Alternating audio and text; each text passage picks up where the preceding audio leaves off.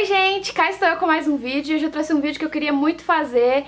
É, muitos de vocês me perguntavam, nossa Elaine, quem vai cuidar da Mariana? E eu respondia, tipo, eu e o Jefferson. Todo mundo falava, não, vocês não vão dar conta, vocês vão precisar de uma pessoa aqui. E era o nosso objetivo, né? Os dois cuidar. Claro que casa sempre tem alguém que ajuda a gente. O Jefferson também, depois chega de trabalho, arruma casa também. Mas quem cuidou da Mariana desde a maternidade, ficou lá no hospital, foi só eu e ele, desde o comecinho, muita coisa a gente aprendeu lá, outras a gente começou a sentir, seguir os instintos paternos.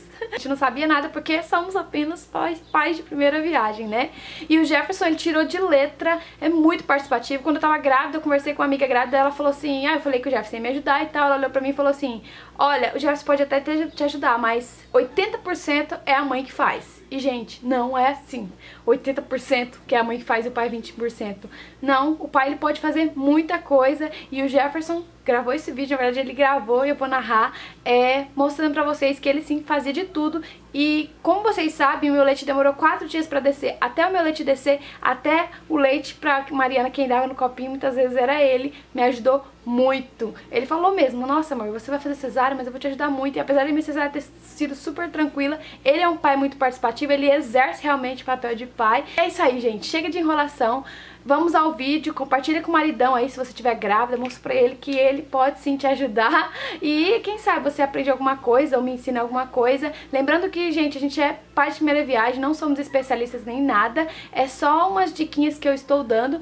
E se você gostar, absorva, se não gostar, então, vamos ao vídeo. Gente, vamos começar com a troca de fralda e você vai precisar de lenços umedecidos, uma pomada anti-assadura CB Ponto é maravilhosa, álcool 70% para o umbiguinho, cotonete também para o umbiguinho e uma fralda de sua preferência. E também, é claro, gente, de um bebê, né?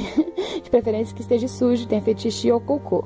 Nesse caso aí, a Mariana tinha enchido a fralda de xixi. Jefferson, o papai, vai começar tirando a meia dela, que, gente, em caso de cocô, é muito importante tirar a meia.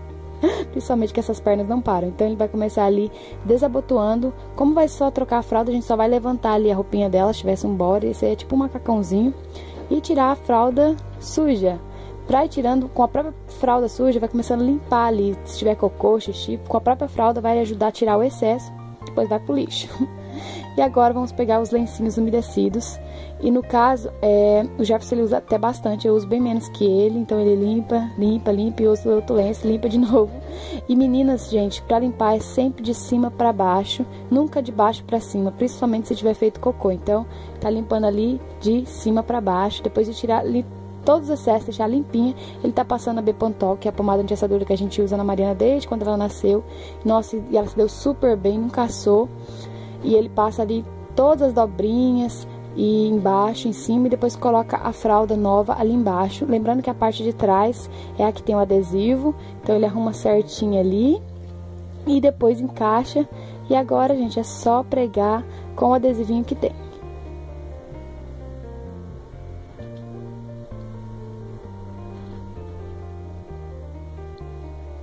Feito isso, é, dá uma olhadinha para ver se a fralda não tá apertada. Sempre dá uma olhadinha, porque depois que mama, a barriga dele sempre fica mais cheinha. E também puxa ali as bordinhas da fralda, é, para garantir que não vai ter vazamento. Se depender do dia, gente, dependendo do dia, nem adianta. A fralda mais perfeita tem vazamento, porque tem dia que eles estão inspirados. E pronto, já temos um bebê, um bebezinho ali cheirosinho de novo. Agora vamos para o umbiguinho. O umbigo da Mariana caiu com seis dias, caiu com o papai mesmo. Antes a gente usava essa gaze aí, do jeito que a enfermeira tá fazendo. Passava álcool 70 ali no coto. É, e depois, com a gaze sequinha, sempre nas trocas de fralda, trocava a gaze para garantir que estava sequinha. Isolava ali, dobrava uma gaze, virava, isolava o umbiguinho, deixava sequinha ali, depois colocava a fralda. Mas agora que o umbigo já caiu, a gente só pinga o álcool no cotonete e passa ali no umbiguinho com muito cuidado garantindo que ele vai ficar sequinho também, tá bem curadinho, bem bonitinho. As cólicas, gente, como vocês podem ver, a Marina tá esperneando, chorando muito, e é isso que acontece sempre quando ela sente cólica. Depois de dar o um remedinho, a gente coloca ela desse jeito aí, é o jeito que o Jeff está balançando, é a posição que ela fica mais confortável e muitas das vezes consegue dormir. Então ele balança ela por pelo menos 40 minutos. Então a gente se reveza quando o dia tá bem cansativo e daqui a pouco, gente, ela já dormiu. Então assim, essa é uma parte que já dá para emendar no sono, né, do bebê. Ela consegue dormir é, depois que passa a dor, né? Isso daí ajuda a aliviar, além dos remedinhos que a gente dá, que não é poucos. Tudo indicado pelo pediatra, é claro. Depois que ela dormiu, a gente coloca no carrinho, porque por enquanto ela dorme no carrinho, do lado da nossa cama, e deixa ela dormir. A amamentação, apesar de ser uma parte feita exclusivamente pela mamãe, o papai tem um papel importante, o de colocar para arrotar. Para colocar para arrotar, a gente coloca ali na vertical a criança e dê batidinhas bem leves nas costas dela. Se ela não arrotar, deixa na vertical pelo menos 15 minutos para garantir. Banho. Essa é uma parte que o Jefferson mais faz. Na verdade, só ele faz desde a maternidade. Ele tá enchendo a banheira ali com a água do chuveiro, que é uma água bem quentinha. Vai colocar ali no trocador. E, gente, essa melhor aquisição na vida. Super recomendo, gente, um trocador com banheira. Ajuda muito, adianta muito a vida. E você vai precisar de um bebê sujo e um pai babão. Ela já tirei a roupinha dela, só tá com a fraldinha prontinha para tomar o banho. Então o Jefferson vai começar tirando a fralda ali para poder colocar ela na banheira. E, gente, agora a Mariana tá gostando de tomar banho. Esse dia tava bem calor, então ela ficou mais feliz ainda. Mas no começo ela chorava bastante. Pode ver que ela vai esticar as mãozinhas ali, ó, na banheira. Na hora do susto, na hora que coloca ela na água. É, isso é um reflexo, segundo o pediatra, que procura a parede do útero. Que eles estão acostumados ali ficar sempre apertadinho, né? E o Jefferson vai começar ali lavando o rostinho dela. Eles lava só com água o rosto. Só o corpinho e os cabelos que ele vai usar o sabonete. E o sabonete que a gente usa é um recomendado pelo pediatra dela, chama Granado, ele é antialérgico, diz que é bem bom, então a gente tá usando ele. E ele começa ali molhando o cabelo, vai passar o sabonete nas mãos e esfregar. Não tem muito segredo, é o jeito que a gente lava o cabelo mesmo, só que com muito cuidado.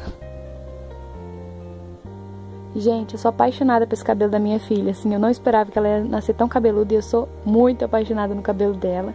Depois o Jefferson vai vir ali, o papai, é, lavando o corpinho, o pescocinho, barriguinha, os bracinhos. e ela tá adorando.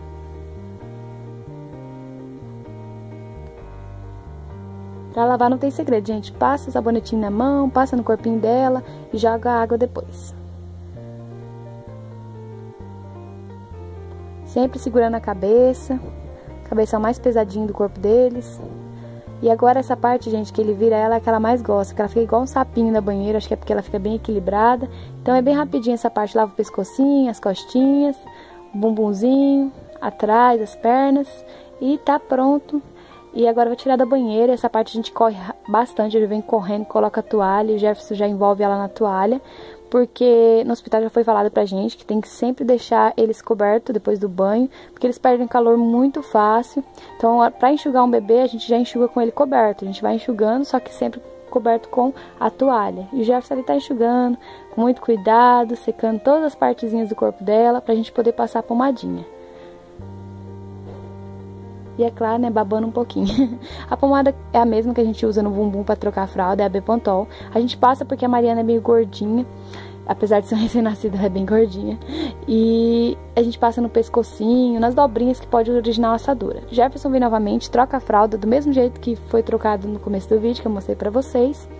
A roupinha já está escolhida, já foi colocada ali. Um detalhe importante, escolher a roupa antes, para não ficar com a nenê pelada, esperando a roupa. E ele tratou o umbigo ali também e agora tá colocando a roupinha. O look que ela vai usar hoje é esse bodyzinho que ganhou da titia Jaque Almeida. Tá quase perdendo, então tem que usar. e o Jefferson coloca ali a roupinha nela. E ela tá ficando uma gracinha, né, gente? Não é porque minha filha. Não, é porque minha filha mesmo. Tem que puxar a sardinha. Sou muito coruja. E a gente vai deixar só no body, gente, porque tá muito calor mesmo. Então o pediatra já recomendou que ela é bem calorentinha, deixa só com o body.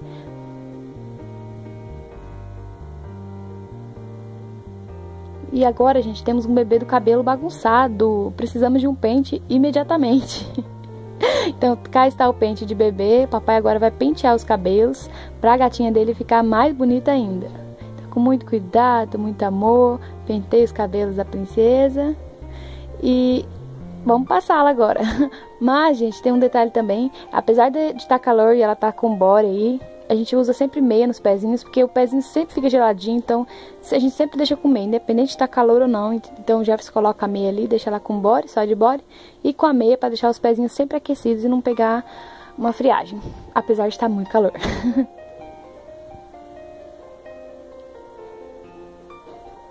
E pronto, agora é só babar e brincar e beijar, e encher de carinho essa princesa. E eu espero muito que vocês tenham gostado do vídeo. Se você gostou, não esqueça de clicar em gostei, inscrever-se no canal se você ainda não é inscrito pra ficar ligado nos próximos vídeos. Fiquem com Deus, beijão, tchau, tchau.